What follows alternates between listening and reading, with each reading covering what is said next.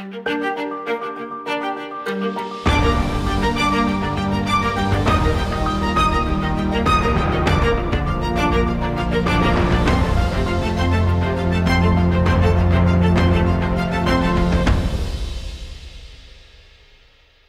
good day to you. It is April the 2nd, and I hope wherever you are, whatever you're doing, you're having a great day. My name is Gary Willing. I want to welcome everyone to Search for Signs.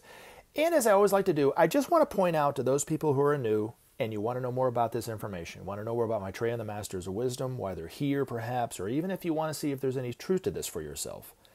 Hopefully, at some point, you'll look into this and investigate it for yourself. I've included links in the description portion of every one of these videos that take you to websites that talk about this information. But if you want to know the best website to go to that has the best background information, it's the link at the top, the Share International site. So hopefully you'll look into that. If you want to come back and join the discussion, you are of course welcome to do that. And I always want to thank everybody who has commented and thank and uh, asked questions since the last time I put a video up.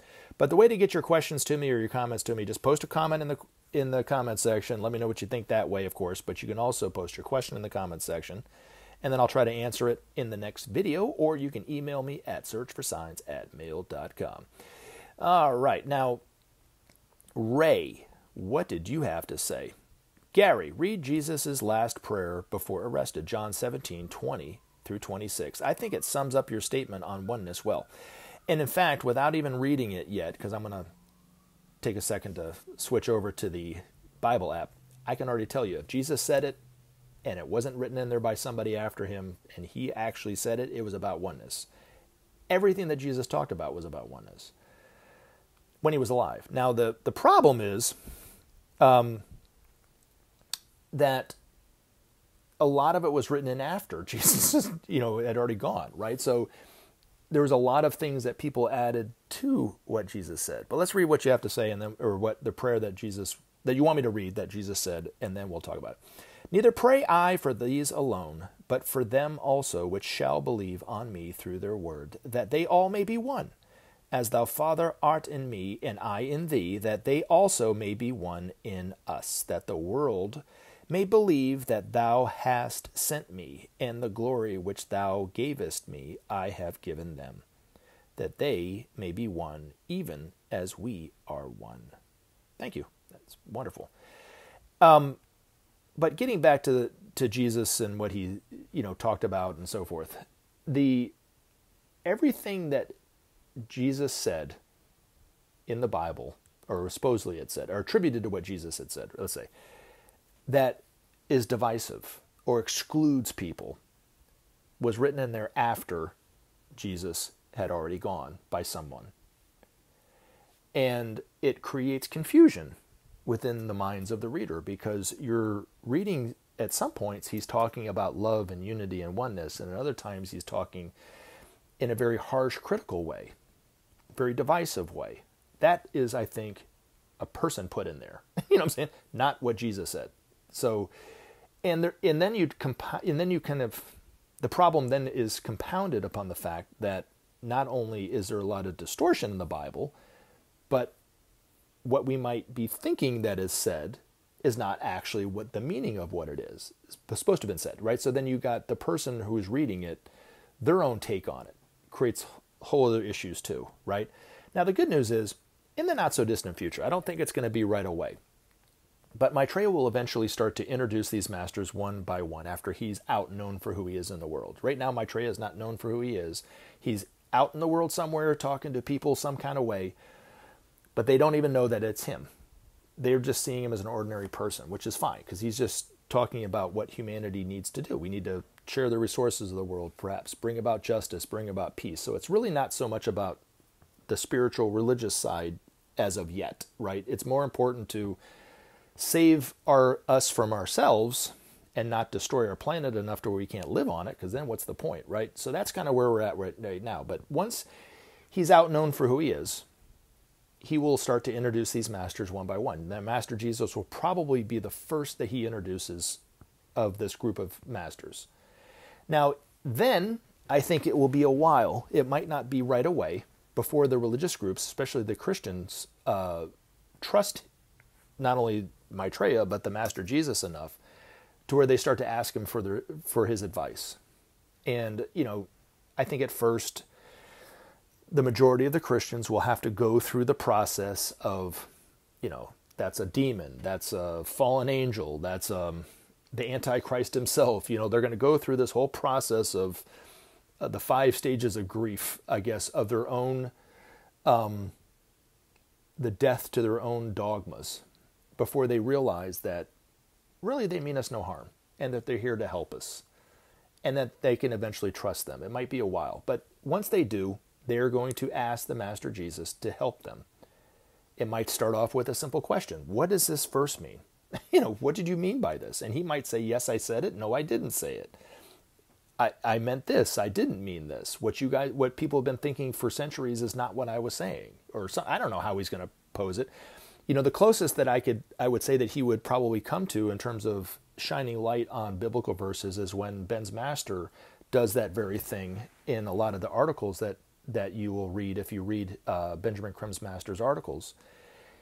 From time to time, he'll throw in a biblical quote and talk about its meaning. And it's always about love and unity and oneness. It's never divisive, you know, ever, you know. And so, but that's I think where where humanity will start to awaken to the truth and the true the real truths within the Bible will come from that more than um, humanity itself trying to mentally understand what it's saying. There's too much distortion in the Bible for us to really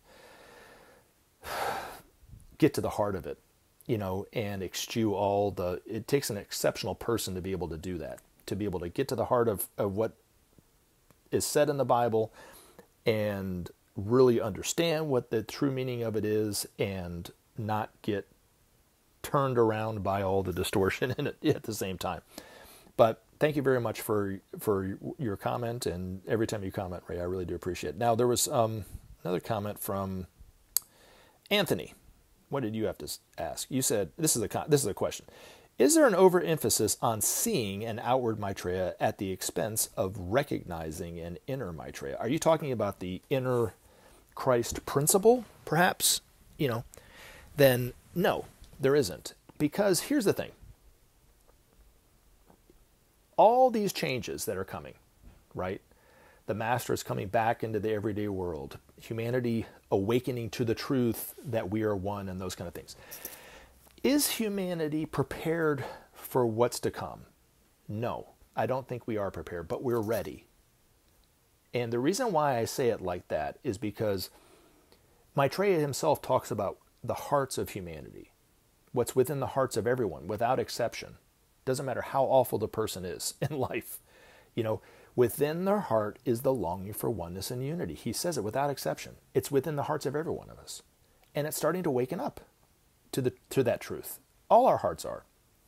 Now, some people's hearts are still closed to that truth, but for the most, you know, for the most part it's it's opening up within the hearts of humanity. So it as a humanity as a whole, the heart of humanity is starting to open up. I guess is a better way of saying it. There'll always be those people that will come up the rear. you know what I mean? But as Maitreya, even unrecognized as Maitreya, when he's speaking to humanity, however he's doing it, whether it's to a tiny group of people in a room, to maybe on TV or in the media or whatever he's doing, it's having the effect of awakening the hearts of humanity. And if you look at what's going on in the world today, you can see it from if you're looking at it from that perspective. You know, you kind of shed the fear of what's going on, of the uncertainty of the future, and you really look at what, what's happening to humanity, how we're reacting to the situations of the time. We're see, you're seeing humanity waking, waking up to the truth that we are one. And as every American is guilty of doing, I'm about to be guilty of it too. I'm going to I'm going to bring it back to the shores of America, right? the political divisions, right, which are happening all over the world. But let's just talk about the ones in, in the United States, because you know if you look if you talk to an, somebody from the United States, if it happens in the United States, it's it's more dangerous, more powerful, more important than it is if it happened in let's say um, Madagascar. you know what I'm saying? I mean, it's just they don't assign that that um, importance to other countries. It's always about the United States. So I'm, I'm kidding, but I'm being I'm, be, I'm being satirical at the same point. But anyway, or at the same time. But anyway, my point is there's political divisions in the United States like there is everywhere else, right? And right now they're pretty pronounced, right? If, but if you look at the groups of people on the right and the left, they both want different things, but they're both crying for divine uh, principles. You know, one is crying for freedom, the other one's crying for justice. You know, and it's the awakening of, of the hearts of humanity. On the right, you know, their rhetoric, their um, you know their their their rhetoric and their what they're what they're fighting for and how they're fighting for it is divine, but yet it's kind of twisted and kind of warped in a way, right? So then you look at what's going on on the left, crying for justice and equality, right? Uh, economic or ecological justice and those kind of things is a divine thing that they're fighting for, but yet they're just as twisted up and made into a pretzel as the ones on the right are, right? Now, I'm not talking about the political leaders, I'm talking about the people, right? The, the political parties, both sides, the Democrats and the Republicans, are both corrupt and are both getting paid from the same corporations, you know, and that's the reason why we have the political problems that we have. But the people are waking up to the truth that we are one. They might not understand the other side. They might not even like what the other side has to say. They might even dehumanize the other side. But they are awakening up to the truth that they have a political voice, for one. That voice should be heard, but they're, what they're fighting for is divine. They just need somebody to articulate what's really going on within them and not have it be a corrupt political figure such as Trump try to articulate it. That's the problem. Once Maitreya articulates it, it's going to harness and focus that in a way that we can't possibly imagine. But Ben's master talked about the awakening of the of the people to politics and the political will of the people a few decades ago. And we're seeing it happen now. But those divisions are a direct result of humanity waking up, is my point.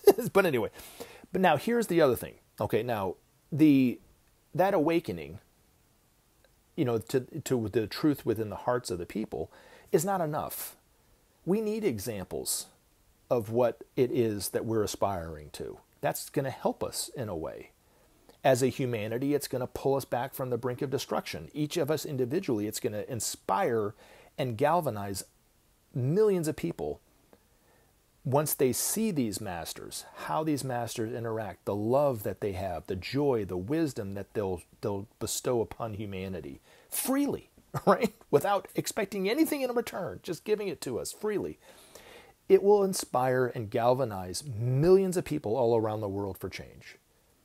It will bring a new lovingness to the world in a way that and to humanity that we can't possibly imagine right now. We're on the it's on the tip of everybody's tongue that longing for unity that longing for one. It just needs somebody to speak it out in the way that that only maitreya can. But it's not just maitreya it's also these other masters. When we see each and every one of these masters out in our lives how they interact with each other how they interact with us how Maitreya will interact with the lowest most uneducated members of humanity and the richest most pompous, arrogant assholes that you could possibly imagine. You'll, he'll, he'll love them both in the same way. And we'll see exactly how we can be because they are us in the future or in, in potential. You know, that's how we will be in the future, is how these masters are. It will galvanize, like I said, it will galvanize humanity. Millions of people, you know, will be galvanized in a way and inspired to reach that what they've always aspired to reach, which is what these masters are. It will it will it will it will galvanize them into action that we can't possibly imagine. And just hope and pray that you're one of them and one of those people, because I think that everybody who's listening to this channel is one of those people. Because you wouldn't be interested in this information in the slightest if it wasn't already starting to awaken within your heart too. You're just not hearing the hearing this information coming from one of the masters. You're hearing it from an ordinary person. But once you hear it from Maitreya, it's going to have a much different effect on your heart and your and open your mind up in a way that that Gary can't do. but anyway, hopefully that makes some some sense to you. Now, Wild Humans 8116, there was a lot of information about a lot of comments about Sasquatch and Bigfoot, I guess.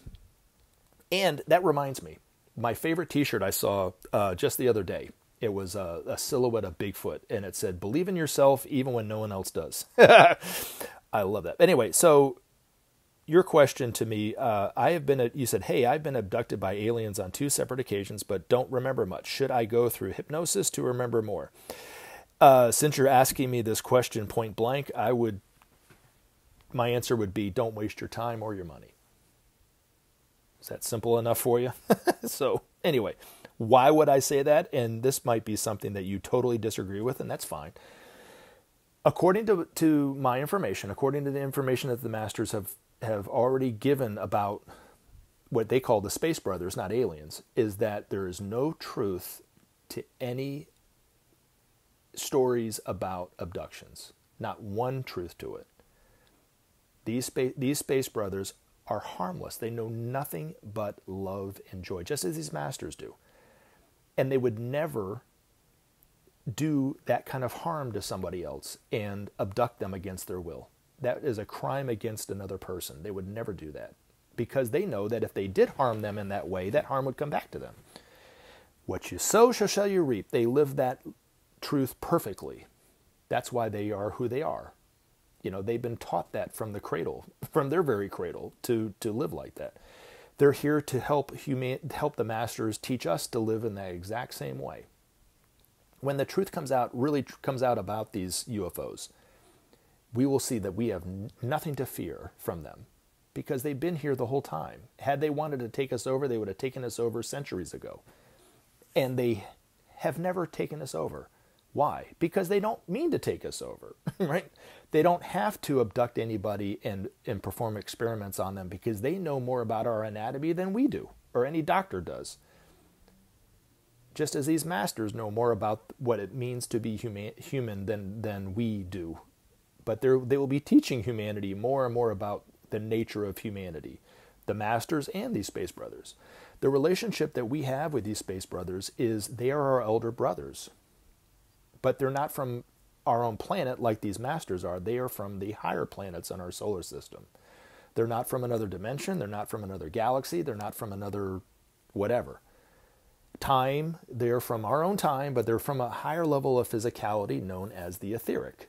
So, according to uh, the ageless wisdom teachings, and that science, there are not just three levels of physicality solid, liquid, and gas. There are four levels above that known as the etheric which makes seven levels of physicality. On the etheric planes are where this, these humanities are on their own planets. And they come here on a spiritual mission to help us. Mainly now, they are here helping us clean up our own environment. Because if it wasn't for their work and the work and activity of the UFOs, tirelessly day in and day out cleaning up our atmosphere from the pollution that we're doing, the harm that we're doing to the environment, I would say we would either be all dead nearly dead or wishing we were dead because everybody would be so sick that it would be just an absolute hell to live in if because of the pollution that we're doing. And the only reason why we have remote normalcy is because of the work and tireless work of these of these space brothers, cleaning up our atmospheres, you know, day in and day out, moment to moment to moment, and and until we learn not to do that very thing. Now, the the other comment you said about people freaking out about the truth about the UFOs, I don't think that's true anymore. It might have been true 50 years ago, but it's not true now because more and more information has come out about the UFOs. They, there have been more and more sightings of UFOs, more and more t- discussion about UFOs, to where it's it's really quite normal to talk about. It's not so taboo, you know, and even to where I would say 40 years ago, you would have never read anything about this. But a few years ago, during the Trump administration, I think it was on, if I'm not mistaken, it was either 2019 or 2020, that there was a, a couple little articles in some news services, you know, um, but mainstream news services, not not fringe news, and it, it was that it was informing everybody that um, the, some high levels of the Pentagon were meeting with and briefing members of both houses of Congress and the president himself, which at the time was Trump, about the nature of UFO activity. Why would they do that if there if they didn't think that there was any reality to it? Not one person would ever do that. Would ever put their career and their reputation out there like that if there was no truth to what they were saying. Now, of course, Trump, in true Trump fashion, said that he didn't deny the meeting. He denied that he didn't believe that there was any truth to the information of UFOs. Whether it was his own hubris or he was totally lying about the fact that, that he didn't believe it, I don't know. It doesn't matter but the cat was out of the bag. They were talking about it, right? And they were talking about it because it's becoming more and more normalized. Now, I would say if you lined up 100 people, uh, what, 50, 60, 70% of the people would probably say that, that UFOs existed. The other, the other 25 or 30 or 40% would say that they didn't, right? Which is probably pretty normal. But out of that 50 or 60 or 70% of the people that do know that they exist, they don't know where they come from. They don't know why they're here. They don't know the purpose. They don't know if they mean us any harm or anything like that. But in time, they will we will all eventually know the truth because Maitreya is going to say this. He's going to be asked this question. You know, uh, do these what's going on with UFOs? Are they real? And he'll say, yes, they are real. Where are they coming from? They're coming from our own planets and our own solar system. These are going to be the words that he says in only the way that Maitreya can say it. They're not. He's not going to say it exactly like I say it, right? But he's going to speak the truth about who they are. That they mean us no harm. That they are humanity from our own sister planets, and they've been here since the dawn of time, and they've been helping humanity through our evolution, and will continue to help us. In fact, uh, to take it a step further, they will eventually give us the same technology that they use to build their ships, to, to power their cities, to power their ships to go from one planet to another in a matter of minutes. It takes them just a few minutes to go from Mars to Earth or, you know, Saturn to Earth or whatever, just a few minutes. Probably like a drive across town almost. And that's how fast they can go. But they, they do it clean, and it's a clean and very efficient technology and so forth. It's called the technology of light.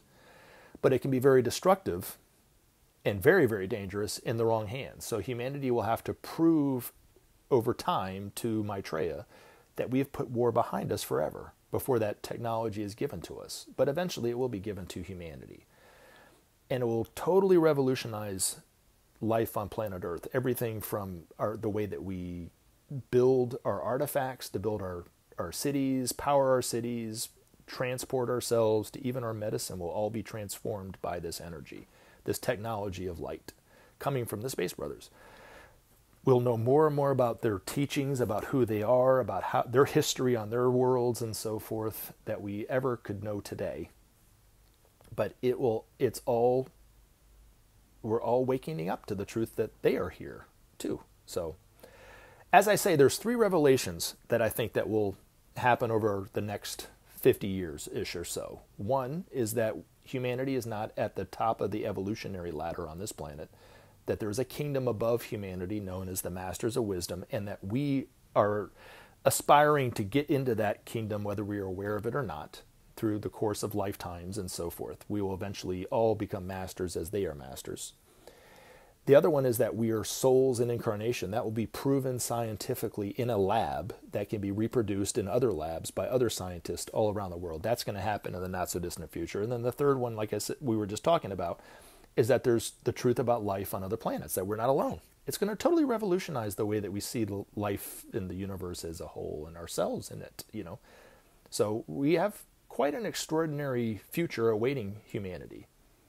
And that's why it's exciting if you read this information, if you get into it and you really dive into it, it can really bring you a lot of hope, I think, because of the truth about the masters, the truth about ourselves, the truth about the fact that we will get through this very tumultuous time and those kind of things. But anyway, I love you guys. Thank you very much for your questions and your comments. I look forward to talking to you guys again in the future. You guys have a wonderful, wonderful day.